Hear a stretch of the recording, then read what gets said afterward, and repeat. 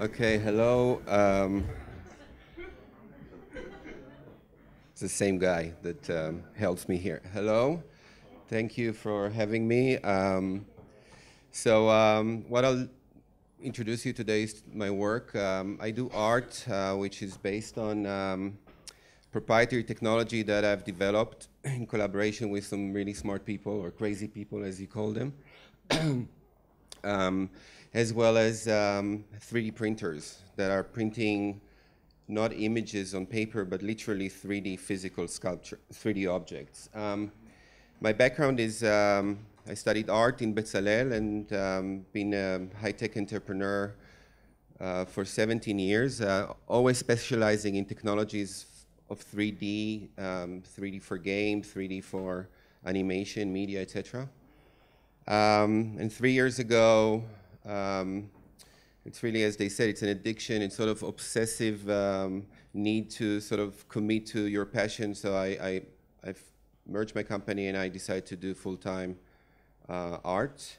Um, what I'll show today is um, uh, uh, images uh, from my last show, my last exhibition, as well as I'll share with you some of my new work, where I'm heading. So what you see now here is a sculpture of a meter and a half. And all of the sculptures are actually an output of a simulation, of a computer simulation that I've developed. Um, and what I'm searching for is really um, to freeze a moment, uh, an epic moment in a, in a radical situation. In this case, it's a collapse, it's a crash of a wall. And um, I then take the data, the physical data, and I send it to print, and, and sort of there is no human intervention between the code development, the simulation, until the final sculpture. Um, this is a three meter earthquake scene. Um, and sort of it's a suspension of, uh, it's, a, it's, a, moment in time while all the street is kind of crashing and collapsing. Um, this is um, also a meter and a half sculpture of an oil splash. It's a kind of a liquid splash. Um, and again, it comes out of um, those simulation and each engine, each code takes sometimes a year, a year and a half to develop. And many times I collaborate with people that I've never met online, and probably I'll never meet them. Um, and um, as you can see, this is kind of the, the, the, sculpture, and it's, it's literally printed layer by layer, micro layers, layer by layer by layer by layer.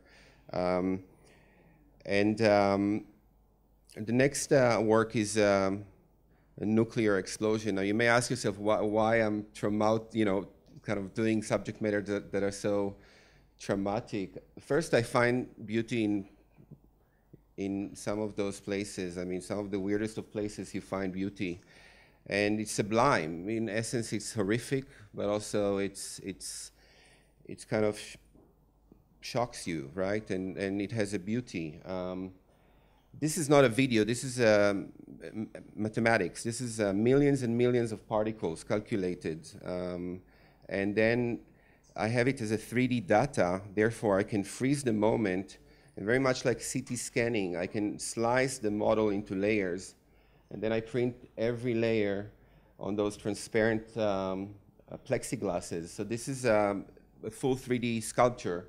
You can turn around, you can go below, and, and sort of the mushroom is suspended in air, right? Um, this moment.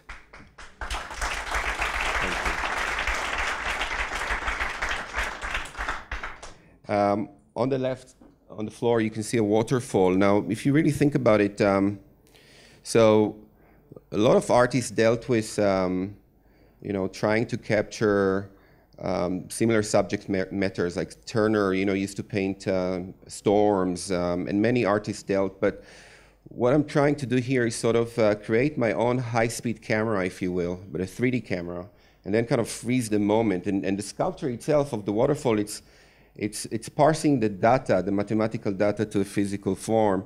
And what happens when you stand next to it is you feel as if time is frozen, almost like a, a bullet time. The next scene is um, I, I, did uh, accidents, collisions. Now again, my, my approach in aesthetic is minimalistic. It's not to show you the blood and the glass and the injured you know, injuries. It's really collision of two objects, a mass. And, and then um, this is the sculpture. It's, it's, it's large. It's like a meter and a half. And this is red Ferrari because I wanted those sculptures to be seductive.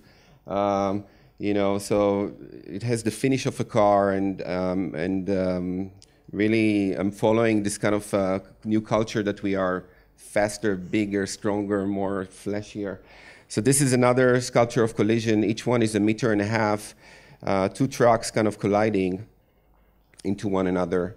Um, and uh, the colors I chose uh, for this collision, I'll show you, is um, the silver is of Mercedes and the purple is uh, a purple matte of a Porsche.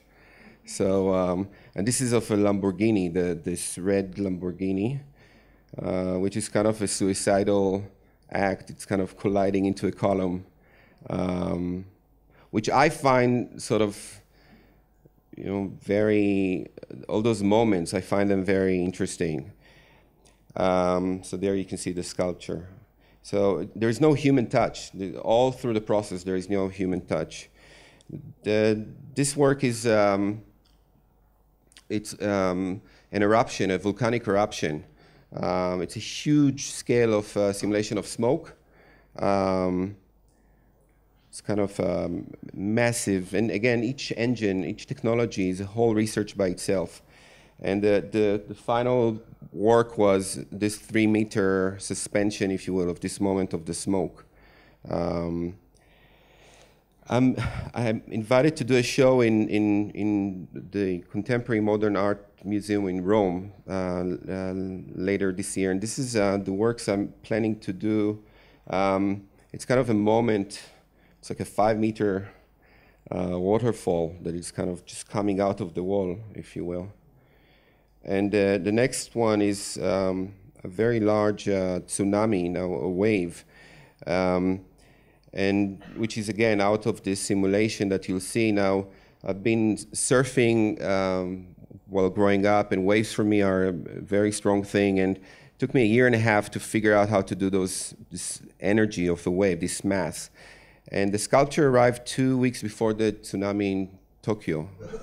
And, uh, when, and I always did it black. And, and when, it, when the tsunami happened, we, my wife and I we got goosebumps, and it, it was almost like a like um, prophecy. I don't know. It felt bizarre. It felt like Okay, so now moving to positive things, okay? Um, so this was the sort of searching into moments. Thank you. So for the last, uh, I would say almost two years already, I, I, so initially I did those kind of catastrophic events, sublime moments, and then I moved into sound and basically simulating sound waves and understanding what happens. I mean, I'm talking and there is a sound wave and it's actually colliding here with you, but we don't see that. So what I started to do is actually trying, started to simulate sound waves and give those sound waves physical properties in my code, in my simulations, and letting those sound waves um, impact objects. And um,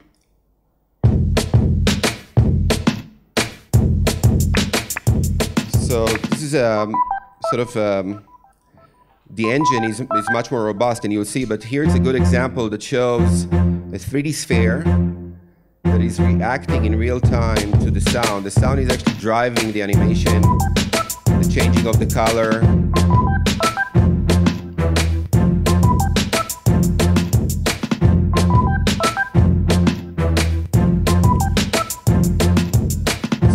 um, here's another experiment. Um,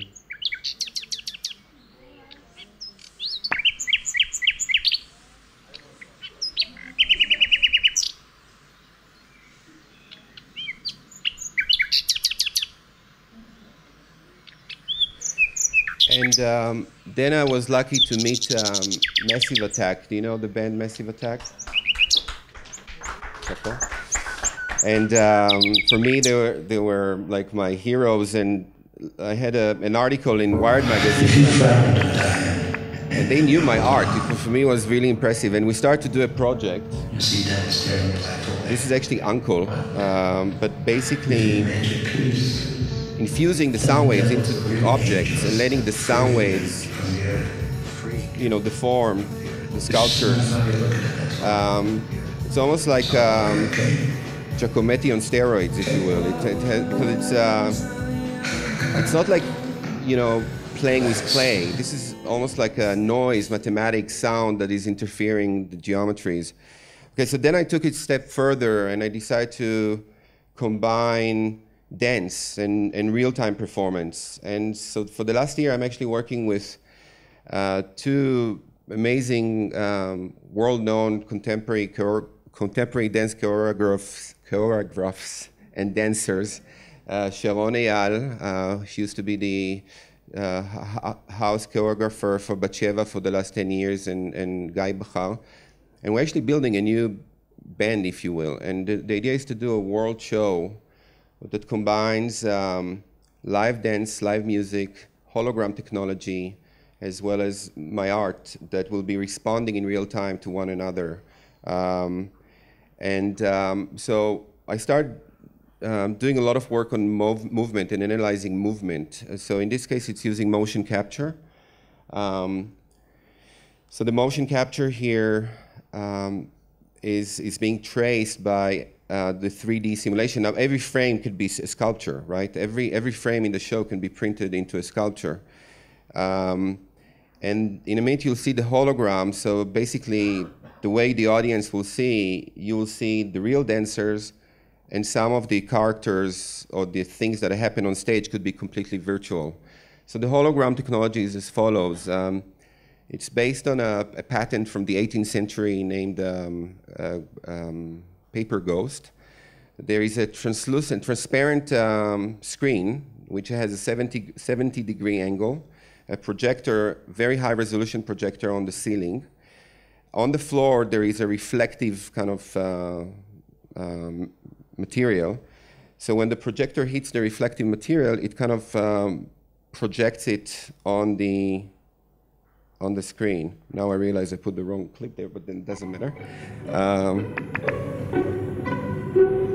so here is um, another evolution in the development. So this hand is being captured in real time by three Microsoft Kinect and our software. You see the resolution of the hand. So I can actually capture the dancers in real time, this quality. This is Sharon dancing.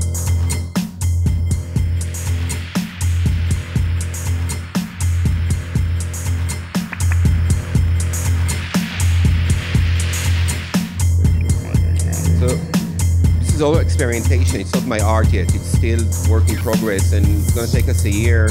It's a big project. We have 10 dancers, a lot of technology.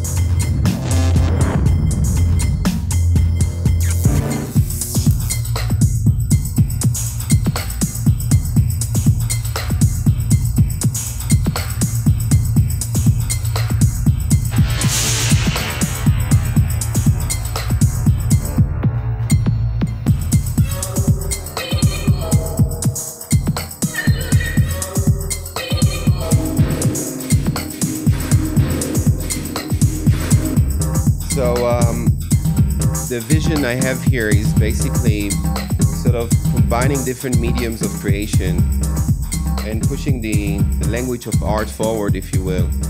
Because there is sort of a notion that, you know, in 21st century, technology and art and creation is like sort of in our humanity. And basically, this, in a way, the static work of art is almost the work of the past. I mean, this doesn't mean that people won't continue to paint and make sculptures. There's a whole new artistic language that is being starting to being developed here. Um, so thank you.